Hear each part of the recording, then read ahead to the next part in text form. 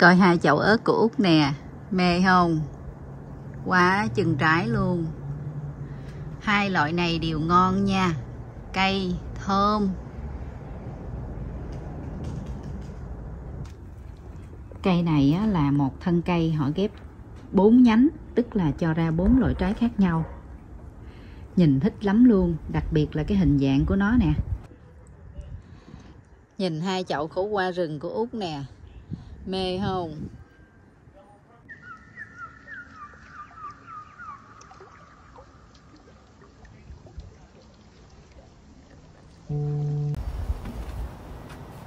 Hello, cô chú, anh chị và các em. Bữa nay Út ra vườn chia sẻ những cái loại ớt mà Út trồng ở trong vườn nè. Đặc biệt là hai chậu ớt này mình trồng hồi mùa xuân. Và hai tháng trước Út có làm video chia sẻ về cách trồng ớt ở trong chậu đó. Bữa nay thì nó ra trái đầy và chín đỏ rực luôn. Còn chậu bên đây á là có một mớ chín rồi cũng vàng rất là đẹp. Đặc biệt là à, nhiều trái. Thì bữa nay út sẽ chia sẻ những cái loại ớt mà út trồng trong vườn cũng như là mình trồng ở trong chậu tốt hay là trồng ở dưới đất tốt. Rồi à, mình à, làm sao để mình à, giữ được những cái cây ớt này để cho nó sống qua mùa đông nha. Rồi sau đó mình đi vườn à, của mình vòng vòng coi có trái cây gì hoặc là rau củ quả gì thì mình thu hoạch rồi mình ăn thử luôn. Đặc biệt là hai loại à, táo mà út trồng trong chậu cây táo 4 trong một đó. Bữa nay á, thì à, sắp thu hoạch được rồi mình sẽ hái mình ăn thử coi thu hoạch được á, thì mình thu hoạch luôn nha.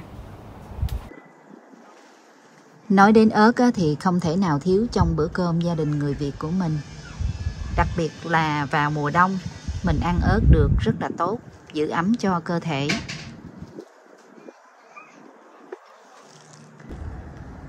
Thì bây giờ út sẽ chia sẻ về loại ớt thái này trước nè. Trái thì nó nhỏ nhỏ như vậy thôi, nó chuyển màu theo thời gian. Tức là khi nó còn nhỏ xíu đó, là nó màu xanh. Xong rồi nó sẽ tím và xanh. Rồi nó cam nó cam như vậy nè đó, rồi nó đỏ, nó càng đỏ đậm thì nó càng chín. Ăn thì à, lúc cắn vô nó thơm, nó cay nhẹ, không có cay dữ lắm, giống như à, những cái loại ớt khác và cũng như loại ớt này. Ớt này thì dành cho những ai không có thích ăn cay nhiều, giống như út. Thì à, út thích ăn cay vừa vừa thôi, đặc biệt là khi mà mình ăn cay xong á nó không có để lại nóng. Đây là tên của loại ớt mà trái nhỏ nè, gọi là Thái Hot Pepper. Còn loại ớt kế bên nè, khá là đặc biệt. Mùi vị của nó không giống như những loại ớt khác. Trong đó nó có mùi vị trái cây, mùi thơm của hoa. Đặc biệt là cây rất là nồng. Khi mình mới vừa cắn vô là mình cảm nhận được cái mùi thơm liền luôn sau đó nó nóng từ từ, nó nóng từ cổ xuống bụng luôn. Ai mà thích ăn cay thì loại ớt này là số 1 nha. Thì vào năm 1999 loại ớt này được công nhận là cay nhất thế giới. Nhưng mà sau khi ớt ma ra đời thì loại ớt này không còn cay nhất thế giới nữa. Với út thì út chỉ ăn được một lát mỏng thôi chứ không có ăn được nhiều giống như loại ớt thái kế bên cho nên khi lần đầu tiên mà thử ớt này thì mình thử từ từ thôi nha. Đừng ăn nhiều quá một lần. Tên của loại ớt này gọi là Habanero thì à, hai loại ớt này cô chú anh chị và các em có thể tìm mua ở Home Depot nha. Hai loại ớt này dễ trồng sai trái. Úc cũng có làm video chia sẻ về cách trồng ớt ở trong chậu và Úc sẽ để cái đường link ở trên phần mô tả để cô chú anh chị và các em nào mà trồng ớt chưa được thành công thì vào đó xem nha. Để có ớt tươi ngon cho gia đình của mình thưởng thức. Năm này út trồng ớt cũng khá là nhiều. À, mấy cái cây này là út tự ươm hạt lên rồi mình trồng. Hết chậu rồi cho nên trồng đỡ vô mấy cái chậu nhỏ nhỏ mà trái cũng nhiều lắm. Loại ớt này thì à, trái khá là to nè. Nó à, chỉ lên trên người ta gọi là chỉ thiên. Rồi có trái thì chĩa xuống dưới. Có người gọi là chỉ địa ha. Cây bên đây thì à, loại ớt trái nhỏ hơn nè, là chỉ thiên ha. Trái nó chĩa lên trên. Kế bên đây là cây ớt hoa hồng. Thì à, ớt hoa hồng nó khó trồng hơn là ớt nhỏ, loại thường nó mới bắt đầu ra bông và có một hai trái đậu rồi nè. Ớt này thì người Việt của mình hay gọi là ớt Thái. À, Út cũng không biết cái tên luôn. Hồi đó mình mua ở chợ về một cây mình trồng xong mình ăn thấy nó ngon cho nên mình à, à, quăng hạt mình ươm nó lên nè. Loại ớt này khi mình ăn vô đó thì nó cay liền. Và mình nhai nhai một hồi mình mới thấy được cái độ thơm của nó còn đây là một loại ớt khác nữa nè. Út mua ở chợ mỹ. Loại này thì à, trái nó nhỏ thôi, không có lớn lắm. Cái màu nó như vậy. Ăn cũng thơm nhưng mà cái thịt của nó hơi mềm khi mà nó chín. Mình ăn sống thì nó ngon hơn. Cũng cay vừa vừa chứ không cay lắm. Cây này là út trồng năm thứ hai rồi, tức là năm vừa rồi đó, sau một mùa đông. Út dưỡng nó sống. Thì bây giờ nó cho ra trái năm thứ hai. Không có chết nha. Thì um, những cái loại ớt mà mình trồng ở trong chậu đó đừng có bỏ đi mà mình giữ lại. Mình à, để ở chỗ nào mà nó có ánh nắng tức là vào mùa đông trời lạnh nhưng mà cũng phải có ánh nắng mặt trời. Rồi à, mình thấy nó rụi rụi xuống á là nó không có chết đâu nha. Cái gốc nó rất là mạnh khi mà nó tàn xuống thì mình cắt tỉa rồi à, mình giữ nó lại thì nó sẽ đâm ra những cái chồi như vậy nè nó cho ra bông trái. Cây ớt này á, là hồi à, sau mùa đông đó bắt đầu khoảng tháng 2 tháng 3 đó út cắt ngang luôn. Thì cái phần cắt này nó bị úng ở trên chút không sao nha. Đó nó còn cái gốc ở dưới đây thì nó sẽ lên lại rồi mình cũng bón đất bón phân thêm. Nếu được thì mình thay chậu mới nó tốt hơn út thì cái chậu này út không có thay, út vẫn để như vậy. Rồi mình thêm đất, thêm phân cho nó thôi. Thì bây giờ nó cũng bắt đầu cho ra bông trái khá là nhiều nè.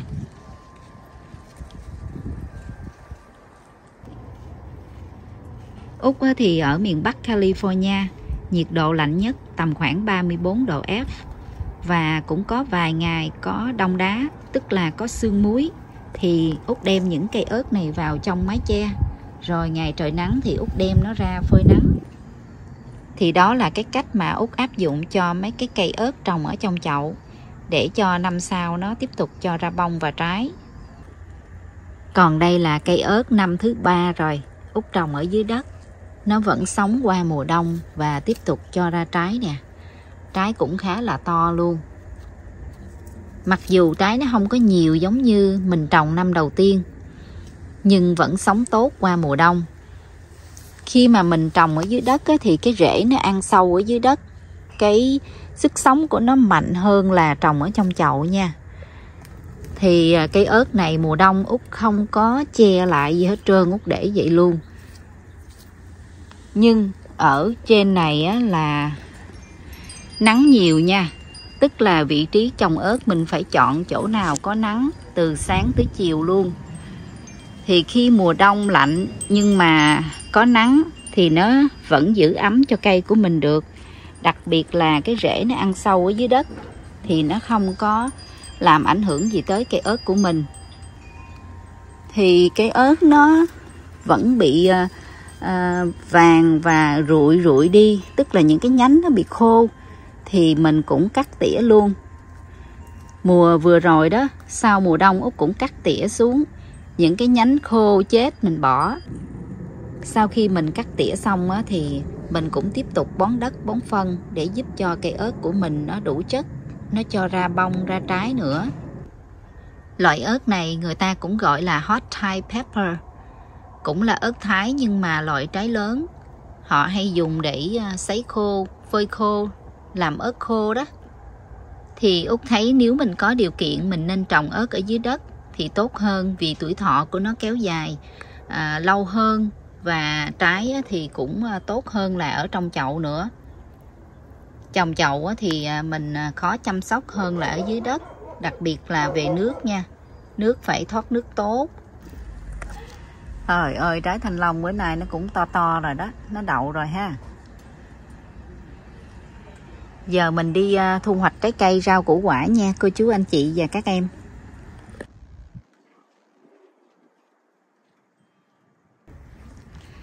Bây giờ Út dẫn cô chú anh chị và các em cùng đi hái cây táo của Út trước nè.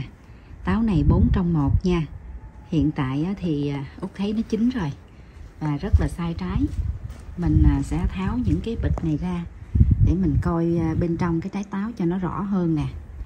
Trời ơi, nhìn mê không, cô chú anh chị và các em. Quá trời trái luôn nè. Trái nào trái nấy nó to đùng, Mặc dù út trồng ở trong chậu nha.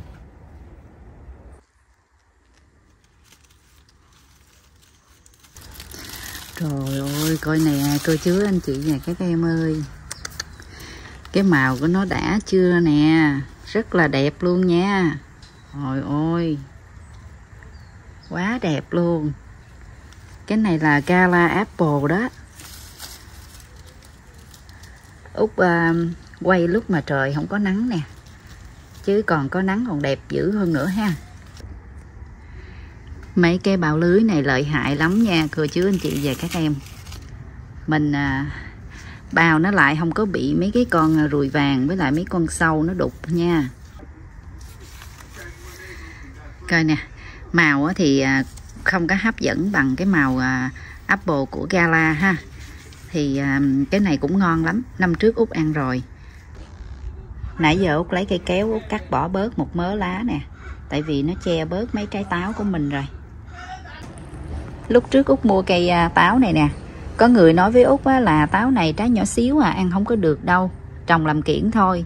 Nhưng mà khi út trồng rồi trái rất là to luôn nè. Thấy không? Trái nào trái nấy nó to chứ đâu có nhỏ đâu. Cho nên à, cô chú anh chị và các em thích trồng táo nè thì mình có thể trồng ha. Mặc dù mình không có đất mình trồng trong chậu cũng có trái vậy. Chậu này rất là nhỏ chứ không có lớn. Từ lúc út mua hồi năm trước mình để yên nguyên cái chậu này luôn út à, trồng được hơn một năm. Năm đầu tiên mua về có hai trái màu vàng nè ăn thử cũng ngon. Năm này cho ra thêm một loại trái nữa. Còn à, hai loại trái còn lại thì chưa có cho ra trái. Út quay cái tên nha để cho bà con của mình thích thì mua. Cái à, màu vàng nè gọi là à, yellow delicious apple. Và màu đỏ màu đỏ này tiếng Anh gọi là Gala Apple. Rồi một loại nữa là Gavinson's Apple và Fuji Apple. Fuji thì ai cũng biết ha giòn ngọt rất là ngon. Còn loại này thì Út chưa có ăn Út không biết nữa. Bữa nay mình sẽ hái và mình ăn thử nha. Đặc biệt là loại Gala Apple này. Mình à, trồng ở nhà mình không biết ăn như thế nào nhưng ở chợ thì ăn cũng rất là ngon rồi có rất là nhiều người ưa thích loại này. Cây này á, là một thân cây họ ghép bốn nhánh tức là cho ra bốn loại trái khác nhau. Nhìn thích lắm luôn đặc biệt là cái hình dạng của nó nè. Hồi năm trước nữa út mua 99 đô ở Home Depot đó. Nhìn cây táo của út mê không? Cô chú anh chị và các em. Trời ơi đã thiệt chứ. Giờ mình hái một trái mình ăn nha. Đây nè đã. Trời ơi chắc là ngon lắm đây nha. Hái cái uh, gala apple mình ăn thử trước mời cô chú anh chị và các em.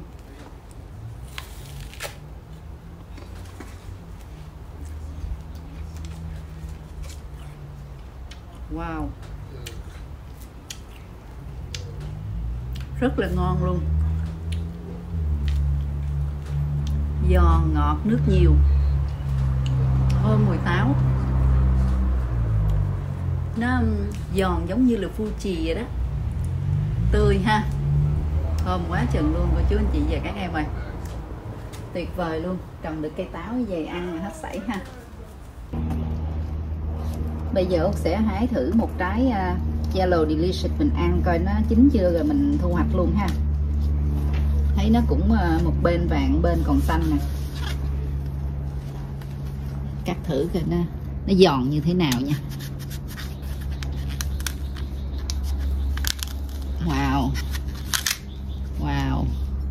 Giòn quá chừng luôn nè. Tươi ha. Thơm. Thơm quá chừng luôn của chú anh chị và các em ơi. Giờ mình ăn thử coi à, nó như thế nào nha. Năm trước thì ăn rất là ngon rồi. Năm nay không biết thế nào đây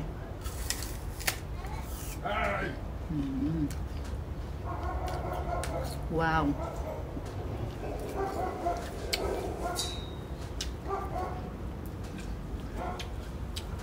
Quá ngon luôn. Giòn, ngọt nhưng mà có cái hậu chua nhẹ. Đặc biệt là nó thơm cái mùi ờ, mùi bơm mà mùi táo giống như ở Việt Nam mình vậy đó nha cái ờ, màu đỏ này thì nó không có cái thơm cái mùi đặc biệt giống như cái loại táo yellow delicious này. Giờ bắt đầu thu hoạch đi. Mình ờ, hái mấy trái màu đỏ trước nè.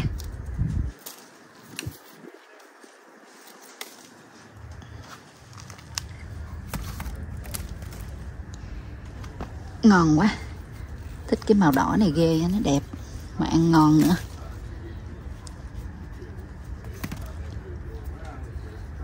trái à, màu vàng này thì à, út lựa cái nào có cái à, đốm màu hồng mình hái nha. Còn chưa hồng thì vài bữa mình hái tiếp. Cái này chắc được trái to lắm chứ bộ.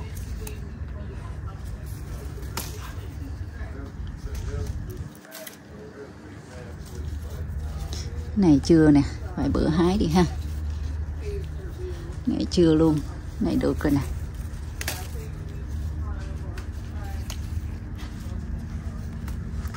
trời ơi ngon không? Quá ngon luôn. Nhánh này được 14 15 à, trái luôn. Sợ nó gãy hết sức nên nút à, buộc treo nó lên nè. Thì mình hái được mớ đây. Còn mớ thì út sẽ lấy cái bao lưới út trùm lại tiếp tục, để không có bị sâu và ruồi vàng nó đục. Nếu cô chú anh chị và các em cần mua bao lưới thì út sẽ gửi cho cái đường link. Comment nói út biết nha bao lưới này á thì mình mua mình dùng tới dùng lui được. Cũng tiện á út mua trên amazon. Ở đây có mấy trái mướp với lại trái bầu. Út à, cắt luôn nè. Nó ở trên cao. Chắc nhờ anh Tư Sài Thành cắt chứ út đâu cắt tới đâu. Bầu này là bầu hồ lô thì trái nhỏ nhỏ như vậy mình hái được rồi. Mình chờ lớn quá nó già nha. Này mướp hương.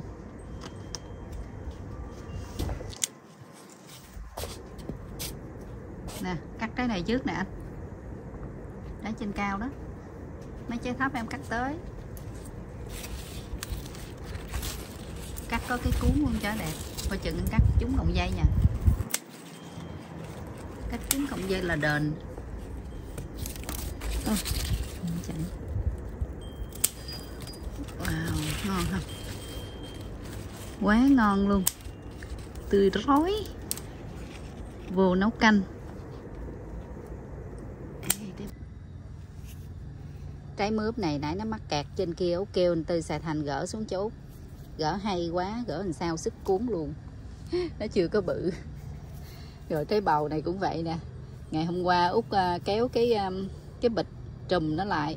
Trùm sao sức cuốn. Để đây luôn đi đây, cho cô chú anh chị và các em xem rất là đặc biệt luôn. Năm này út trồng được mướp hương màu vàng. Không hiểu tại sao mà cái trái mướp nó vàng như vậy. Mới đầu út tưởng là nó bị hư, nhưng mà út ăn mấy trái rồi. Mình cắt ra bên trong y chang như cái trái mướp hương lùng màu xanh vậy nè. Ăn cũng ngọt y chang vậy luôn. Phát hiện ra là toàn thân nó màu vàng. Cái loại mướp hương ờ, lùng thì cái thân nó màu xanh, phải không? Cái này nó màu vàng nha. Lá cũng vậy luôn nè, không phải nó hư. Bữa giờ út ăn rất là nhiều trái rồi đó. Lạ ha. Chắc sắp trúng số rồi. Trúng số để mua được cái miếng đất bự hơn, mình ở, mình trồng cây cho nó đã. Thôi giờ út thu hoạch nha. Mướp hương lùng màu vàng nè. Giờ mình bứt cái cuốn nó ra đi. Đó, ngon không? Tươi rối luôn. Còn em này thì ú nu, ú nần luôn nè thấy nó to vậy chứ bên trong nó còn non lắm, nó chưa có già. Trời ơi, mấy chú ong lại thụ phấn cho cây su su nè. Nhiều ong lắm. Có mấy con kiến ở trên trái mướp. Bứt đi. Ôi ôi, cái nè xích cái màu rồi. Mấy trái này thì vài bữa mình hái nha.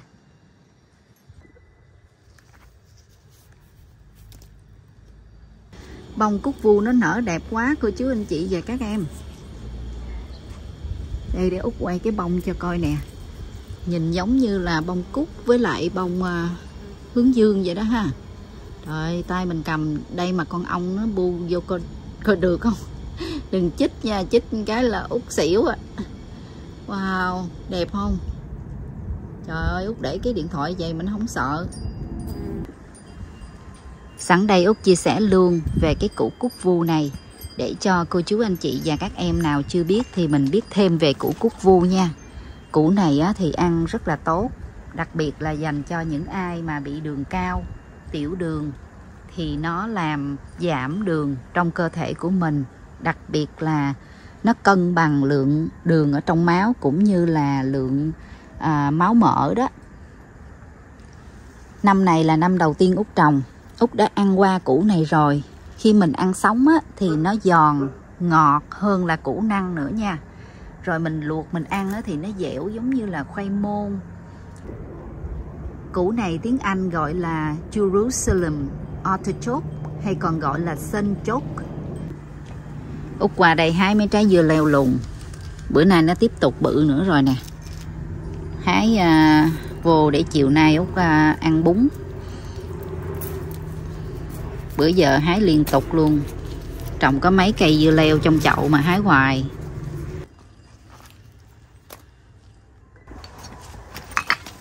Dưa leo lùn này mình trồng ở trong chậu dễ thương. Không cần phải leo vàng ha. Có trái ăn suốt luôn nè. Tươi rói à.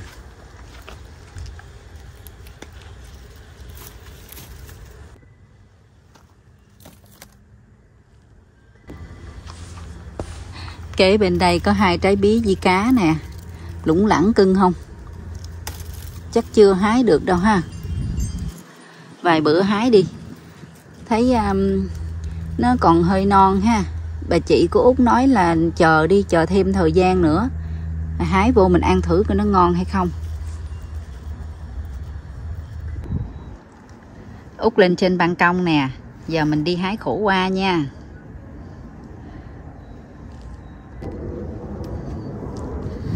Trời ơi coi nè đã không? Cô chứ anh chị và các em. Khổ qua rừng nha. Bữa nay nó bự rồi. Trái lũ khủ cưng không? Trồng trong chậu mà cũng nhiều trái dữ lắm luôn. Bên đây nữa nè. Một mớ rừng, một mớ không rừng. Mấy cái trái rừng là nó gai nhọn như vậy nè đắng dữ lắm nha. Còn cái này thì à, không có à, gai nhọn dữ lắm thì ăn cũng đắng nhưng mà không có đắng bằng gai nhọn. Trái nó cũng à, nhỏ nhỏ vừa vừa. Mà năm này út trồng nó trái nó to quá chừng luôn. Đó, cũng có một mớ trái thì còn nhỏ nhỏ, vài bữa mình hái tiếp. Thôi nè. Trái này nó chín rồi nè. Mình lỡ rồi mình để giống luôn. Bữa giờ chưa có hái được, nó chín. Sẽ để giống lại vài trái để mình trồng vì trời cũng bắt đầu lạnh lạnh rồi. Mình sợ mình à, để đợt sau nó không kịp á. Cờ trái này dễ thương không? Dài dài đẹp ha. Còn loại này thì à, vừa trắng trắng, xanh xanh. Tại vì nó lai với lại à, củ cổ qua bạch tuyết năm trước út trồng. Bẻ cây bông đực để mình thụ phấn cho cây trái khủ qua của mình nè ngắt bỏ cái cánh đi, rồi mình lấy mình trét trét vô như vậy nè. Đó, nhiều khi ong nó không thụ phấn được, cái nó không có đậu. Giờ út sẽ bắt đầu hái cái chậu này trước nè. Mấy trái nào mà nó à, sắp vàng vàng thì mình để giống lại, còn à, mấy trái nào mà nó không vàng thì mình hái nha. Hái vô làm một nồi khổ qua hầm tiếp. Hôm bữa út hầm một nồi ăn mấy ngày. Có mình út với ông xã ăn à. Mì gừng nó không biết ăn, tại vì à, nó hơi đắng á ép nó dữ lắm là ăn à, chừng một trái thôi à.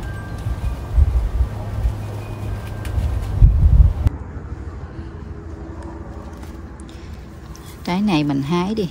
Rồi à, cái trái mà có gai nè. Mình để một, hai trái có gai lại để giống. Trái này vàng để giống đi, để giống luôn cái khổ qua trắng này mình hái đi, tại vì nó cũng không có trắng lắm cho nên không có để giống được. Ngon chưa nè? Mấy trái này đắng dữ lắm luôn rồi đó.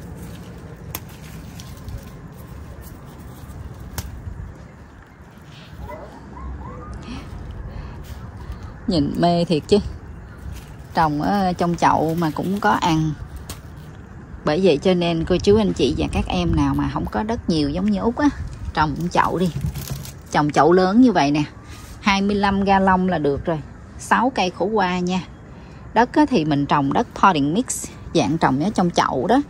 Rồi muốn cây của mình tốt phát triển thì mình nhớ là mình à, cho khoảng một muỗng ăn canh bone meal trước khi mình đặt cái cây khổ qua xuống nha. Cây lớn thì một muỗng ăn canh còn cây nhỏ khoảng nửa muỗng ăn canh trái này ngon chưa? Trên này nữa nè. Wow, trái này nó căng tròn, đẹp chưa nè.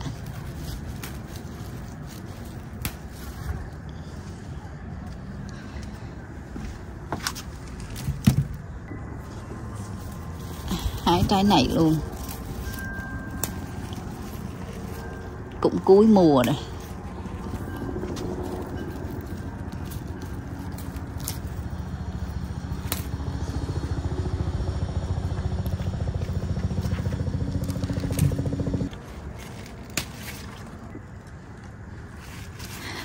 Rồi nó khuất nè. Nó trốn trong này mình không thấy luôn.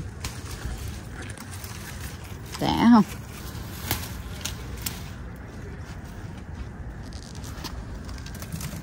Trong đó có con trái chín hay gì kìa, thấy không?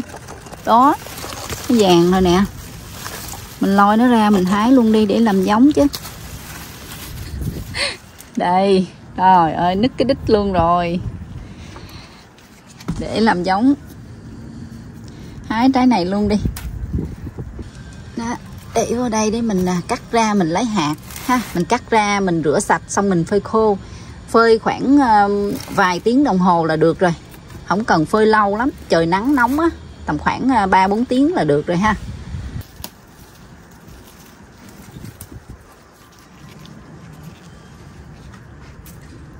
Hái trái này luôn đi coi cái chỗ nó nằm ngay cái góc nào mình bứt cái nó dễ.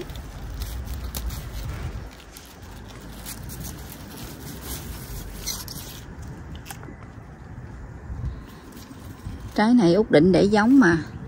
Mà cái nhánh của nó cụp lại dày rồi chắc mình không để giống được quá. Sợ nó héo thôi hái vô luôn đi. Đó. Thôi nhiều đầy đủ rồi.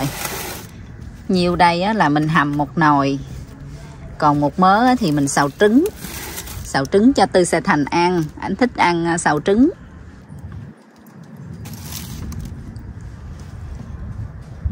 Chậu đậu rồng mà út trồng đợt đầu tiên nè. Có mấy trái, bây giờ mình sẽ hái luôn. Cưng không? Mấy cái lá hôm bữa có cái à, đợt à, xương sương muối xong cái nó bị vàng út cắt út bỏ hết trơn rồi. Bây giờ đợt mới nó đang mọc trở lại nè không có lá mà trái quá chừng luôn. Đó. Trái siêu to ha. Mình sẽ hái mấy trái to này trước nha. Còn một mớ nhỏ nhỏ nè vài bữa mình hái. Ngon chưa nè? Đậu rồng này á, là 3 tháng nhưng mà mình trồng ra tới ờ, 4 tháng bắt đầu mình mới có thu hoạch đó tùy thời tiết nữa. Nếu mà lạnh lạnh thì kéo dài lâu hơn. Còn nóng thì 3 tháng mấy ha? Mấy trái nhỏ nhỏ vậy nè. 4 năm ngày nữa mình hái được rồi. Trời mà nóng thì nó mau lớn lắm. Trời lạnh thì nó hơi chậm. Cưng quá à.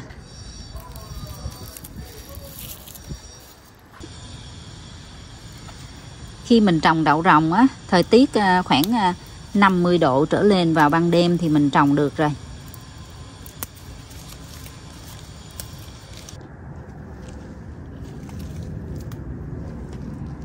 Coi cây đậu rồng nè út trồng đợt 2 từ khúc này lên khúc này mà năm trái luôn nè.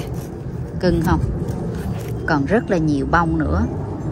Chậu này là mình trồng đợt hai đó. Thì à, hy vọng là kịp mùa nha để mình ăn nhiều đậu rồng nữa. Coi mấy bông đậu rồng tím của út nè nhìn đẹp không? Thường đậu rồng nó ra bông đực trước rồi à, nó tàn, nó rụng đi. Sau đó bông cái sẽ ra sao? Hai cây sung của út nè, một cây màu đen, một cây màu cảm thạch. Thì à, cây màu đen bữa nay có mấy trái nó nâu rồi. Út hái thử trái ăn coi nó ngọt chưa? Nếu ngọt thì mình hái luôn.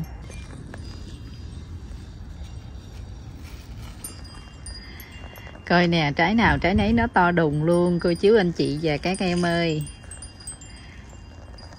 ngon không? Năm này à, cây sung của út trái rất là to luôn. Ngon quá mà hàng chi chim nó lại nó ăn nè. Bữa nó vừa chuyển màu nâu út chưa kịp bao lại nó lại nó mổ. Nó mổ hết một trái. Còn mấy trái này là mình bao lưới là kịp thời. Lưới này á, thì à, út dùng đi dùng lại nhiều lần mình tháo cây này xong mình trùm cây kia mua 100 bịch à, mười mấy đô hả? Giờ hái ăn thử đi.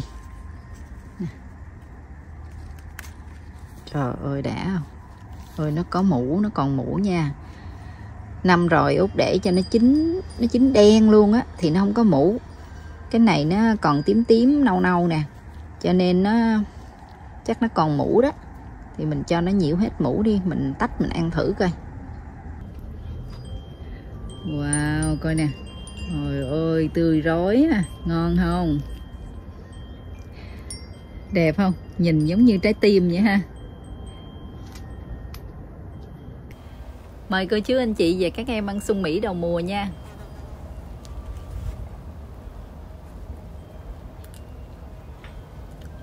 Wow. Rất là ngọt luôn. Nó tím như vậy là đã ngọt rồi mình mà chờ đen nữa là ngọt dữ hơn nữa. Chắc út hái luôn quá. Ừ, ừ. ngon quá. Ngọt tự nhiên của đường. Thì mình ăn cũng ok ha. Còn mấy trái đây út hái luôn. Hái vô cho anh Tư sẽ thành với con gái ăn. Ăn thử sung đầu mùa. Nó có mũ quá trời nè thái vậy ăn thì nó đỡ ờ, ngán hơn và nó chín đen. Sung này ăn rất là tốt cho sức khỏe luôn. Nhiều ờ, chất xơ nè, chất canxi và kali ha, tốt cho tim mạch nữa. Cây sung này ờ, hồi năm trước út mua ở Home Depot. Sung có nhiều loại ha, màu đen, màu nâu, rồi cẩm thạch nữa. Cẩm thạch thì bữa út mới mua. Vài bữa cẩm thạch chín mình ăn thử coi nó có gì khác so với lại à, sung màu đen này ha. Ngon không? Trời ơi, mũ ra quá chừng luôn nè. Gãy nó ra đi, tại vì nó dính vô cái xịa, sợ nó dơ cái xịa. Thì sung tiếng Anh gọi là fake đây là cái tên của à, cái loại màu đen nè kế bên đây có cây sung cảm thạch nè. Út quay cho một người cô xem. Bữa hổm cô nói, út ơi, thấy con mua cây à, sung cẩm thạch sao mà chưa thấy quay? Bữa nay út cũng dùng bao lưới út trùm lại. Nó cũng chưa có chín lắm. Chuyển màu rồi ha. Thì chắc có lẽ vài tuần nữa nó chín. Hôm bữa mua thì à, nó không có lá nào hết trơn. Bữa nay nó mọc lá tốt, dễ sợ chưa nè? Mấy cái cây nào mà mới mua về đó. Nó trong cái chậu nhỏ thì út cho thêm đất, để vô một cái chậu lớn hơn, để giúp cho nó đủ đất đó. Nó nuôi trái. Nhìn trái sung cảm thạch đẹp ha. Lá của nó không có cảm thạch nha. Lá nó giống sung thường thôi. Thì nãy giờ út à, thu hoạch được bao nhiêu đây nè, cô chú anh chị và các em? À, một xịa khổ qua ha rồi à, hai loại à, bơm à, sung mỹ và mấy trái đậu rồng cũng như là mướp hương bầu và dưa leo Giờ thì Út xin dừng video tại đây. Cảm ơn cô chú anh chị và các em rất là nhiều.